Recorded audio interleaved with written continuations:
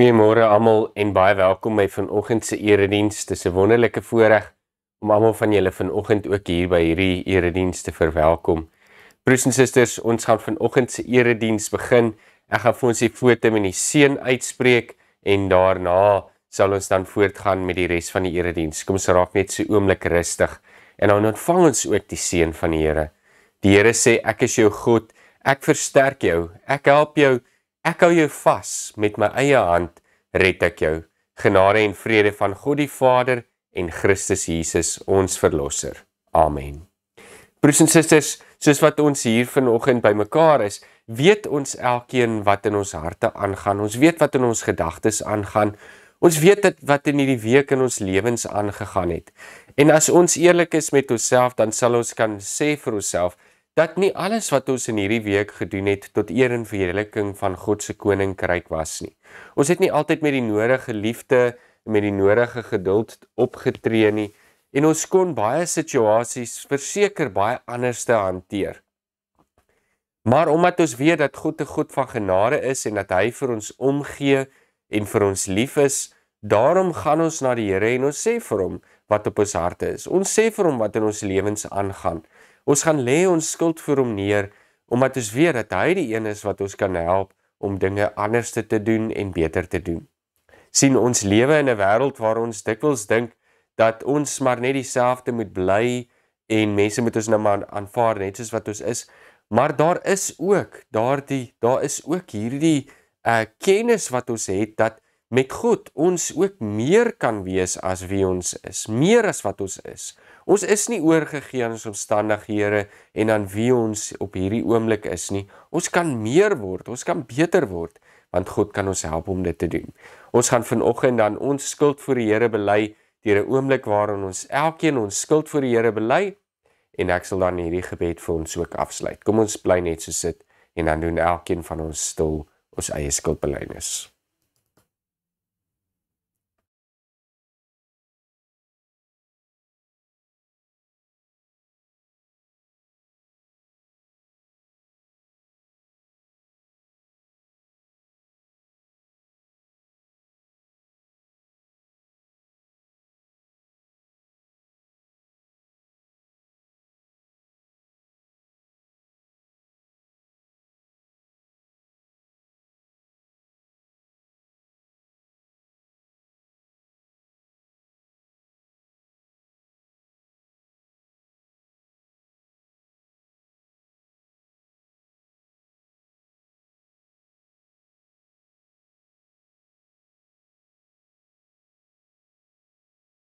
Here en Hemel Vader, ons wil vir U dankie sê vir U liefde en vir U genade.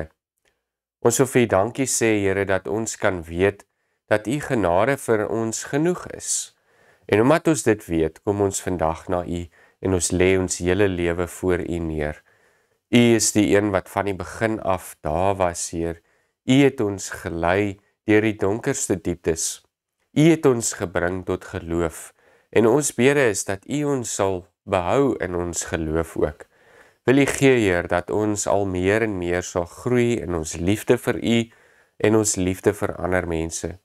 Wil U gee Heer dat daardie dinge wat skeiding maak tussen ons en tussen U en tussen ons en ander mense, dat dit van ons verwyder sal word.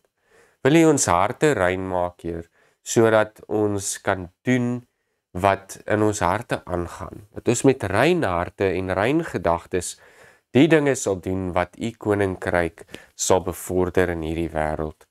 Here ons bid is vandag dat u die woord vir ons sal oopbreek. Wil u deur die woord met elkeen van ons vandag praat en wil u gee dat hierdie woord kragtig in ons lewe sal werk el elke liewe dag.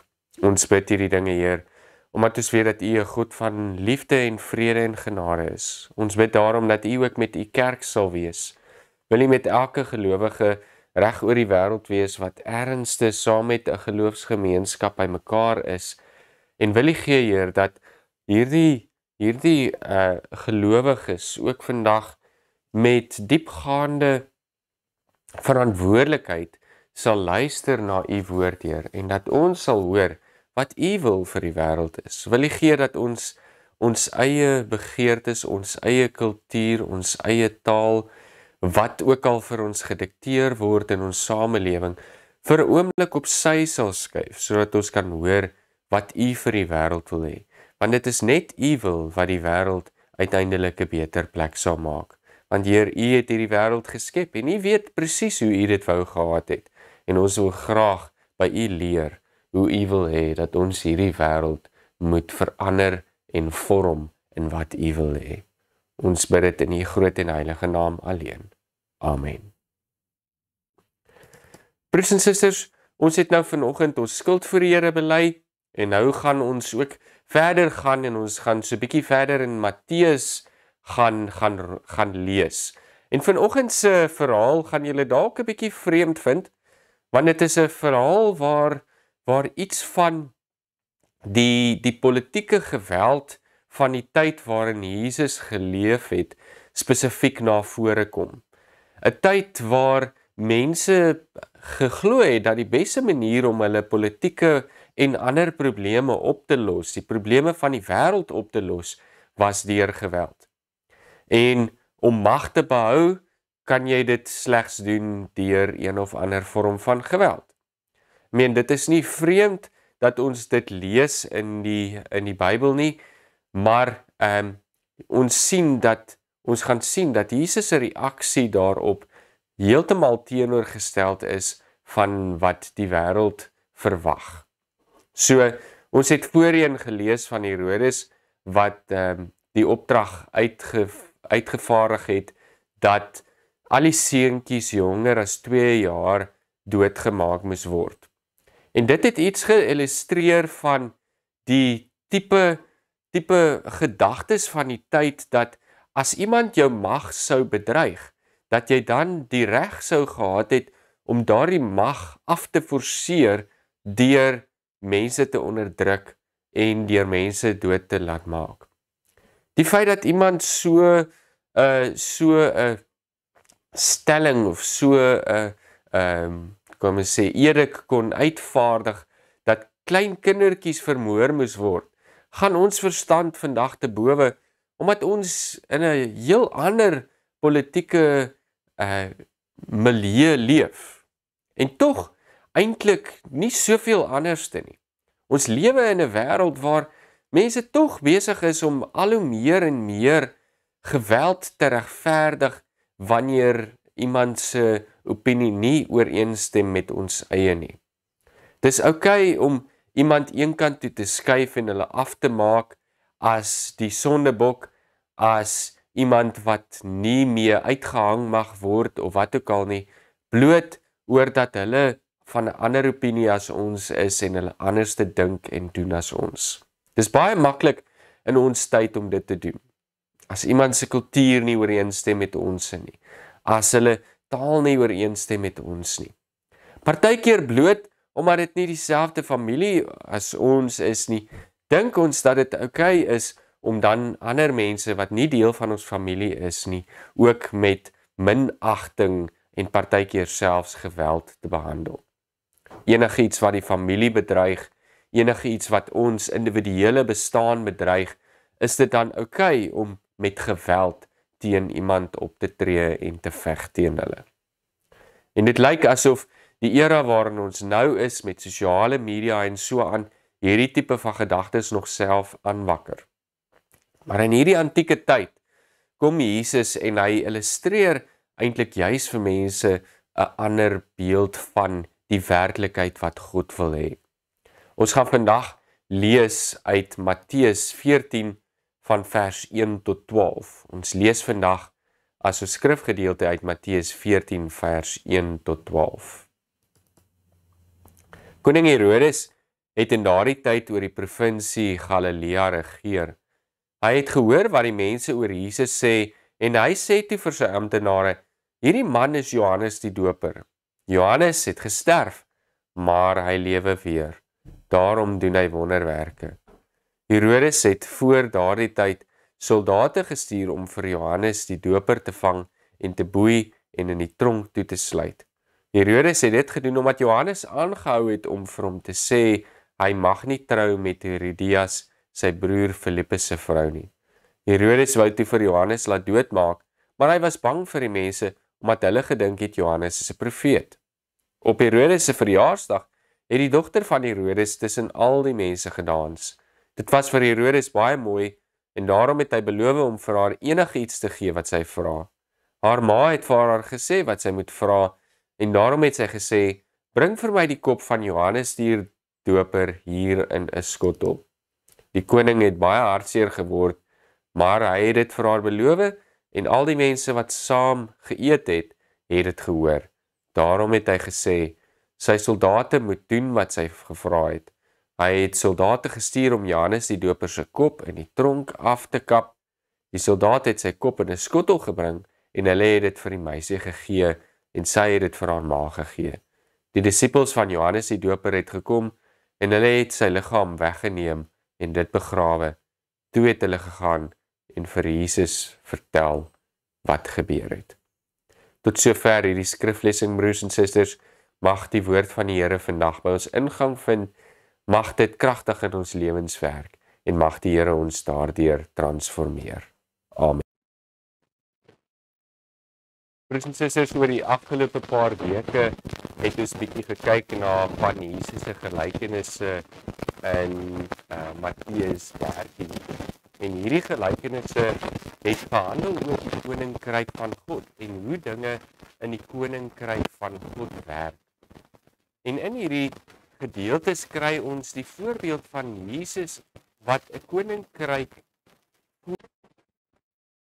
wat gebaseer is op hoe God wil hê dinge moet gebeur. Met ander woorde, hierdie koninkryk op aarde moet met ander woorde naap soos dinge soos wat dit is in die hemel. Dit moet 'n refleksie wees van hoe dinge in die hemel is. En daar gaan dit oor vrede en liefde en omgee. En daar is mense mekaar se gelykers. Daar is ons eie wil en ons eie mag en dis meer nie voorop nie, maar is die wil van God eerste. En dit is dan soos 'n skat wat jy wat jy ernsste ontdek soos wat ons gelees het in die gelykenis en dan met alle mag wil bewaar en vir wie, waarvoor jy al jou besittings sal self sal verkoop sodat jy die stuk grond waarop jy daai skat gekry het kan kan besit. Met ander woorde, daar is nie iets meer kosbaarder as die vrede en die liefde wat God se koninkryk hier op aarde bring nie. En hier vind ons 'n verhaal wat heeltemal in teenstelling is met wat God regtig vir die aarde wil hê. Want wat doen Herodes? Johannes die Doper het goed gesê waarvan hy nie gehou het nie en hy is gedurig deur Johannes die Doper aangespreek. Ehm um, en daarom wou hy vir Johannes doodgemaak het. Maar wat hom gekeer het, was die feit dat die mense rondom hom ehm um, hom gesien het as 'n profeet en as en omdat hy bang was dat as hy hierdie profeet dan nou sou doodmaak, die mense in opstand sou kom teenoor hom. Daarom maak hy nie uh vir Johannes die Doper dood nie. Maar in die volgende asem dan lees ons van hierdie partytjie verjaarsdagpartytjie van die dogter van Herodias, die vrou met wie hy getroud was. En hy lees van hierdie dogter wat wat of ons lees hier van hierdie dogter wat uh dans En Herodes vind hierdie hierdie dans van hierdie jong dame so mooi dat hy vir haar enige wens beloof het voor al die mense daar. En hierdie koning moes sy belofte gestaan het. En omdat hy bang was vir die reaksie, hoor jy nou weer van die mense rondom hom as hy nie sy belofte aan haar nagekom het nie.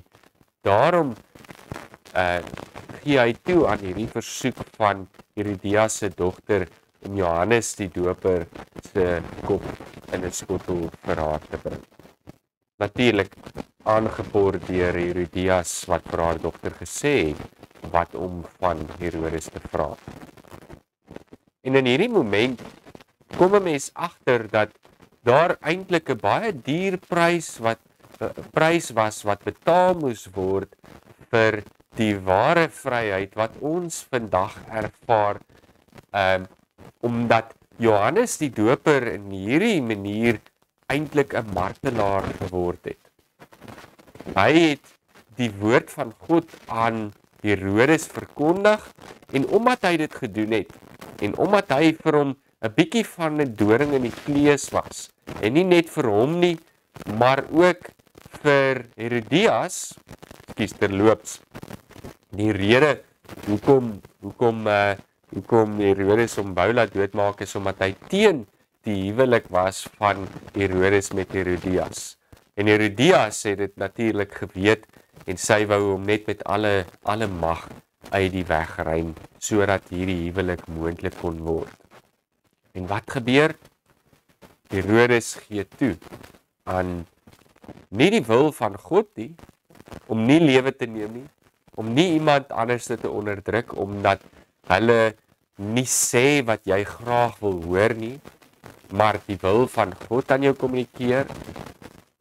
As gevolg van dit word Herodes kwaad en eintlik uiteindelik word hier word Herodias die en haar dogter maar die die voertuig wat gebruik word om dan hierdie uh afsterwe van Johannes die Doper te kan uitvoer. Op sy eie sou hy dalk uh nie so toegegee het aan hierdie versoeking nie. Maar die oomblik toe hy hierdie belofte aan Herodia se dogter maak, toe word dit vir hom moontlik om uitvoering te gee aan wat hy eintlik in sy hart gehad het. Johannes die Doper betaal die prys. Maar terselfdertyd terwyl daar in die gedagtes van baie in hierdie tyd hierdie gedagte sou ontstaan, miskien ook die disippels van Johannes die Doper dat hulle oorwin is deur hierdie mag van die koning wat Johannes die Doper laat onthoof het. Is daar eintlik 'n ander is daar eintlik iets anderste wat voorkom in hierdie verhaal? Want in die, die begin van hierdie verhaal uh, is dit asof uh Matteus 'n bietjie uit die toekoms uitpraat en dan en dan die vooraf geskiedenis gee van die woorde van uh Herodes. Want koning Herodes het toe gehoor van wat Jesus gedoen het en hy sê toe vir sy amptenare maar hierdie man is Johannes die Doper. Johannes het gesterf maar hy lewe weer en daarom doen hy wonderwerke. Met ander woorde hy het hy het uit die aard van die saak baie skuldig gevoel oor dit wat hy gedoen het aan Johannes die Doper en wanneer Jesus hierdie wonderwerke in die provinsie van Galasië is nie Galasië nie maar Galilea dan uh, dan is dit vir hom soos Johannes die Doper wat weer lewendig geword het en wat nou wonderwerke doen. En hy weet dat Johannes die Doper eintlik die wil van die Here uitgevoer het. En daar's iets van 'n skuldgevoel moontlik by hom te bespeer oor wat gebeur het. En wat gebeur hier broers en susters? Eintlik word Johannes die Doper as 'n martelaar uitgelig. En hier word uitgelig dat Johannes die Doper ehm um, gedoen het wat die wil van die Here was. En daarom, broers en susters, het hy ook 'n dierprys betaal. Hy het hierdie dierprys betaal sodat daar uiteindelik tog in hierdie in hierdie gedagtes van Herodes wat soveel skuld saam met hom gedra het oor wat hy gedoen het, ook hierdie idee vlam vat dat Jesus eintlik maar die opgestane Johannes is. Hoekom? Want hy het geweet Johannes het die wil van God gedoen. En in sy gedagtes moes daar iets gebeur het wat hom anders te laat dink het oor sy realiteit en sy werklikheid. Broers en susters, miskien miskien het dit eers in sy gedagtes wel uh iets verander in hom. Dat hy dat hy wel miskien anderste opgetree het, maar uit wat ons lees later in die evangelie het Jesus juis ook voor hom verskyn. Um om en maak hy 'n bespotting van Jesus selfs ten spyte van hierdie gedagte dat hy gedink het uh Jesus is die opgestane Johannes die Doper. Maar as gevolg van hierdie martelaarskap broers en susters beleef ons iets van 'n vredesryk wat besig is om in te kom. Want Johannes die Doper het nie het nie sy vyande probeer verslaan deur geweld nie nie deur hulle te veroordeel, deur hulle te bestraf, deur hulle een kant toe te skuif nie. Maar hy het eintlik gedoen wat die Here van hom vra. En Jesus doen dieselfde. Jesus gaan nog selfs verder as Johannes die Doper. Want Jesus weet presies wat die wil van die Here is omdat hy self ook God is. En daarom illustreer hy vir ons presies hoe ons moet reageer in sulke moeilike situasies. En die feit dat Johannes die Doper sy lewe verloor het, het glad nie beteken dat hierdie beweging sy disippels opgegee het op dit wat hulle op die boodskap wat hulle moes oordra het nie. Nee, inteendeel dink ek het dit hulle nog meer gemotiveer om hierdie boodskap van God se vredesryk hier op aarde aan te kondig dat Herodes nie die ware koning is nie, maar dat God self die ware koning van die wêreld is. En dis wat Jesus ook kom verkondig het. En broers en susters, ek dink hierdie is een van die belangrikste boodskappe wat ons vandag in ons eie tyd ook moet hoor. Ons is nie oorgegee aan ons eie wil nie as as dit waar was broers en susters, dan sou ons soos klein kindertjies wees wat net kry wat ons ook al wil hê. En enige goeie ouer weet dat jy nie net vir jou kindertjies kan gee wat hulle wil hê nie. Jy gaan vir hulle moedperke stel. Jy gaan vir hulle moet wys waar die grense is. Want as jy dit nie vir hulle gaan wys nie, dan is die kanse dat hulle baie stout gaan wees en lelike dinge gaan aanvang baie baie baie goed. Ernste in 'n kind se lewe is dit belangrik dat daar vir hulle grense gestel moet word. En tog broers en susters, as volwassenes dink ons dat ons vandag sonder grense kan leef. Dat ons maar kan sê wat ons wil, dat ons maar kan doen wat ons wil, dat ons maar kan dink wat ons wil en ander mense moet maar net inval by wat ons dink en doen en sê. En weet jy wat? dit is 'n groot deel van dit word nog versterk deur hierdie algoritmes en sosiale media wat ons laat dink dat ons opinie reg is en dat daar dat dat ons opinie die enigste opinie is wat regtig saak maak en dis meer. Hoekom? Want daar word die heeltyd inhoud gevoer na ons wat inpas by hoe ons dink en die wêreld sien. En ons word nooit uitgedaag met 'n ander realiteit nie. Maar weet jy wat?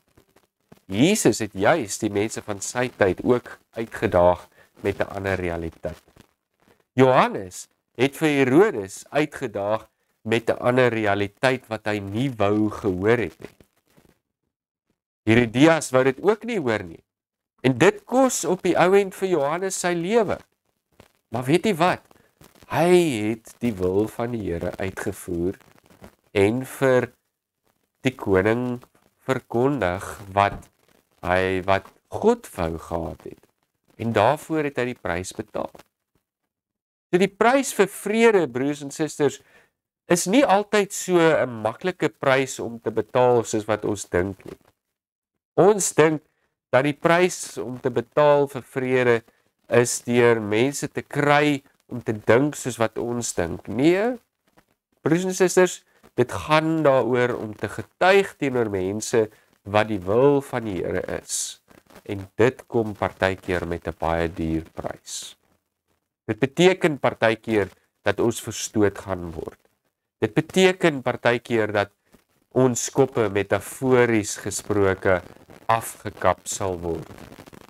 Dit beteken metafories gesproke dat ons ons lewe selfs daarvoor moes gee. En in baie gevalle, soos wat ons gesien het in die geskiedenis, was dit nie net metafories nie, maar dit moes mense ook letterlik hulle lewens aflê ter wille daarvan dat God se koninkryk hier op aarde gevestig moet word.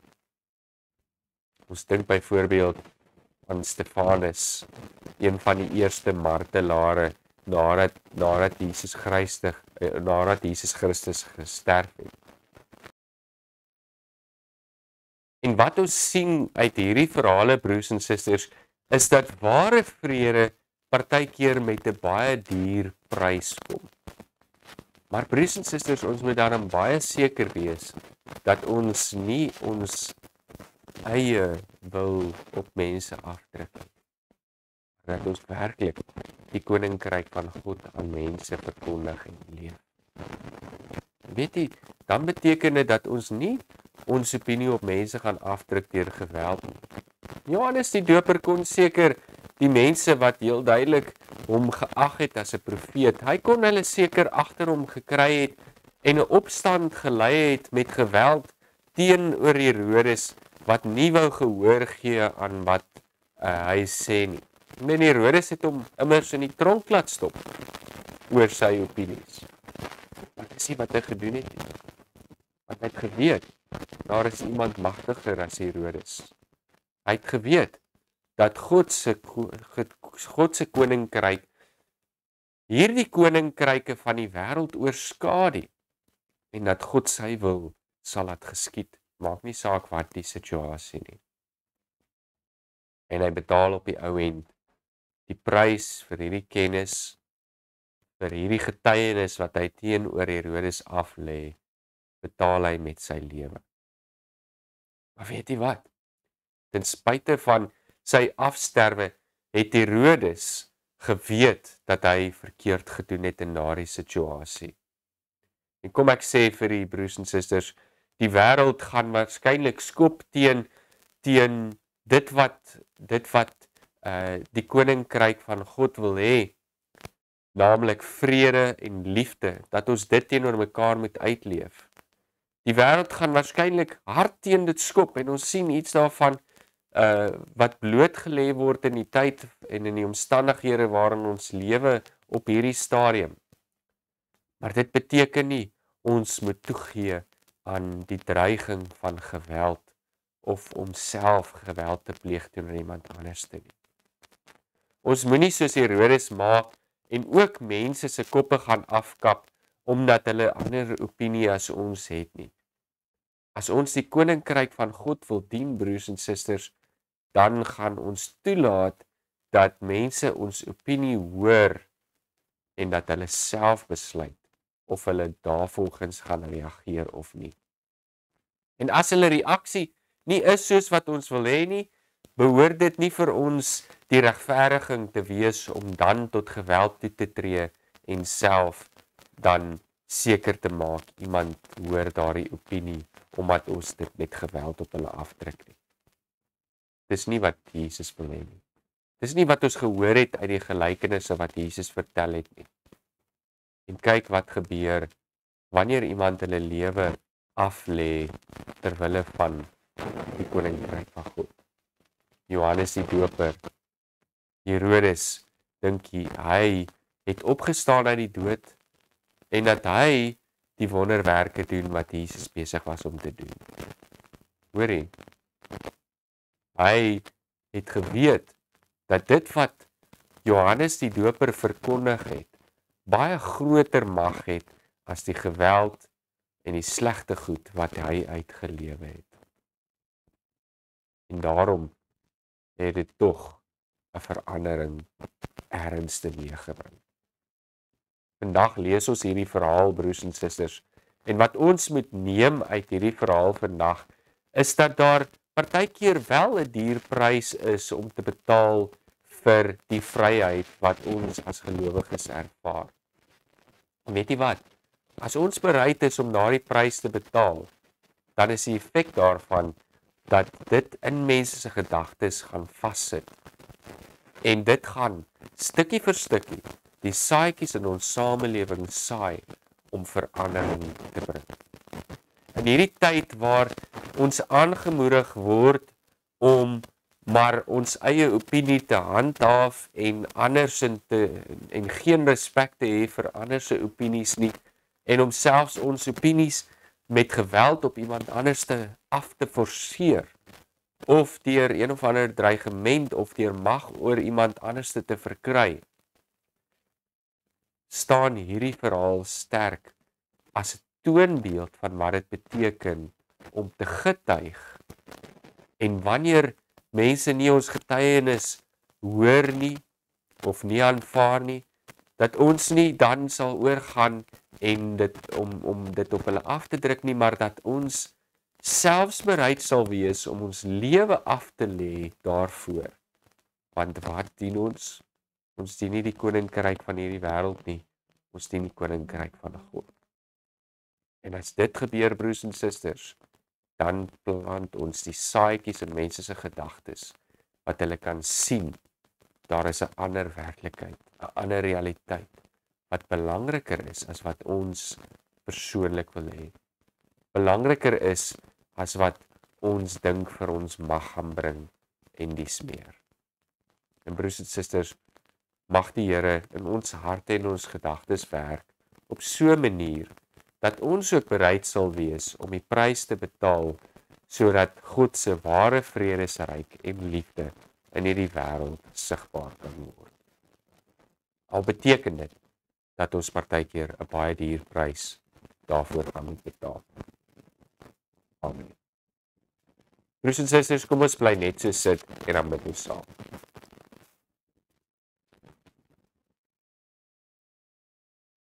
Here en Hemelvader, ons dankie vir u liefde en vir u genade. En dat ons kan weet dat u koninkryk elke liewe koninkryk in die wêreld bestaan. Wil ek hier dat ons sal veg vir u koninkryk, maar nie met die wapens wat ons dink ons moet gebruik nie. Nie met geweld nie, maar dat liefde, genade, vriendelikheid, goedhartigheid die vrugte van die gees, die wapens in ons hande sal wees waarmee ons hierdie wêreld verander. Help ons om begrip en verstaan vir mekaar te ontwikkel, Heer. Help ons om mekaar in liefde aan te neem en mekaar so so te vorm, Here, dat ons op die ou end eerder streef daarna om U wil hier op aarde te laat geskied. U gee dat geen ideologie geen geen magte, geen kragte in hierdie wêreld vir ons so belangrik sal wees dat ons wat U wil hê vir hierdie wêreld op sy sal skuif nie. En Here, ons weet dit is vrede, liefde. Dat ons mekaar met liefde en omgee sal behandel. Ons U sal lief hê bo enigiets anderste. Ons bid hier vir elkeen in ons gemeente Ons bid vir elkeen wat ingeskakel het op hierdie diens. Ons bid dat U hulle sal seën en wil U gee dat hulle U goedhartigheid en U liefde elke dag in hulle lewe sal ervaar op 'n baie unieke manier. Ons bid Heer dat U ons sterk sal maak. Ons bid Heer dat U ons sal lei in 'n tyd waar daar baie beproewings is. En Heer, wil U gee dat ons mekaar al meer en meer in liefde sal toefou. Ons bid Heer vir elkeen wat siek is. Ons bid vir elkeen wie se kragte min is, vir elkeen wat dalk in hierdie tyd sukkel en nie weet waar hulle brood van môre vandag vandaan gaan kom nie. Daarom wil ons bid Heer, gee ons vandag ons daaglikse brood. Ons bid Heer dat U ons sal bewaar van die bose. Help ons om te leer om mekaar te vergewe soos wat U ons ook vergewe, Here en wil U gee dat ons U koninkryk bovenal sal dien. Ons bid dit in u groot en heilige naam alleen. Amen. Broers en susters, ons kan nie anders as om vandag ook ons geloof saam met die kerk van alle eeue uh, te bely nie. En broers en susters, ons gaan dit doen deur weer eens die 12 artikels vandag saam te sê. Kom ons kom ons luister hierna. Ek glo in God die Vader, die Almagtige, die Skepper van die hemel en die aarde, en in Jesus Christus se eniggebore seun, ons Here, wat ontvang is van die Heilige Gees, gebore uit die Maagd Maria wat gelei het onder Pontius Pilatus, gekruisig is, gesterf het en begrawe is en ter helle neergedaal het. Wat op die derde dag weer opgestaan het uit die dode, wat opgevaar het na die hemel en sit aan die regterhand van God, die almagtige Vader, vanwaar hy sal kom om te oordeel die wat nog lewe en die wat reeds gesterf het. Ek glo in die Heilige Gees. Ek glo in 'n heilige algemene Christelike kerk, die gemeenskap van die heiliges, die vergifnis van sondes, die wederopstanding van die vlees en 'n ewige lewe. Amen. Broers en susters, as jy nou gaan uitskakel, wil ek vir jou baie goeie en geseënde week toewens.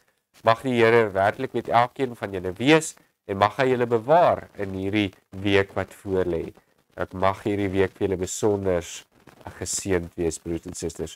Jy is welkom om ook na die tyd vir die afkondigings te bly.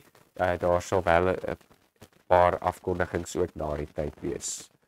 Broers en susters, gaan in vrede en liefde in hierdie wêreld en weet dat ware vryheid partykeer 'n baie duur prys dra. Mag die genade van Here Jesus Christus en die liefde van God en die gemeenskap van die Heilige Gees met elkeen van julle wees. Amen. Broers en susters, dan nou net 'n paar afkondigings. Uh ons dink in hierdie tyd in ons gebeure aan uh Tannie Letty de Kok wat tans behandeling vir kanker ontvang Ons weet dit is 'n baie uitdagende tyd en uh, ons bid regtig dat die Here haar sal bystaan in hierdie tyd en mag die Here haar ook uh die nodige krag en sterkte gee om in hierdie tyd met 'n baie moeilike situasie uh te kan uh dit te kan hanteer en so aan. Broers en susters, dan die gemeentevergadering het op die 16de Oktober 'n besluit geneem om die kerkgebou in die mark te plaas en ek wil ons is net besig om nou uitvoering te gee aan daardie besluit. Die kerkgebou is in die week uh by Century 21 gelys vir verkoop. Ons wag dat daar aanbiedinge op die tafel kom. Ons sal julle op hoogte hou van die verwikkelinge en indien jy enige navrae het, moet asseblief nie huiwer om uh my te kontak nie. Jy is welkom om met enige vrae. Ons wil graag deel maak van hierdie proses en onthou uh die besluit is geneem deur die gemeentevergadering omdat ons graag wil probeer om met die middele wat ons tot ons beskikking het effektief uh te bedien. En uh op die oomblik gaan dit waarskynlik beter vir ons wees om in 'n kleiner ruimte te wees wat meer by ons gemeente se grootte pas sodat ons weer bietjie van die grond af kan begin opbou en uh en kan dink oor hoe ons die bediening vir die toekoms wil aanpak. Broers en susters, as jy enige meer navrae het, asseblief moet nie huiwer om ons te kontak nie. Ons wil nie in die duister hou nie en ons nooi julle uit om graag deel te neem aan hierdie hele proses. Broers en susters, ons sal weer volgende week uh om 9 ure erediens hier op YouTube wees. Maar dan is jy ook natuurlik welkom om die eredienste in die kerkgebou te gaan bywoon, broers en susters. Dit is om 9 uur elke Sondag en uh, jy is vir enige tyd welkom daar. Dis by 36 Parkstraat. Dan broers en susters, op die 20ste November sal daar ook 'n erediens by Sinsa Oos wees. Jy is welkom om die dienste daar te gaan bywoon. Dit sal om 11:00 die oggend plaasvind. Broers en susters, dan wens ek vir julle baie voorspoedige week. Mag die Here u seën en mag hy met elkeen van julle wees. Tot volgende keer.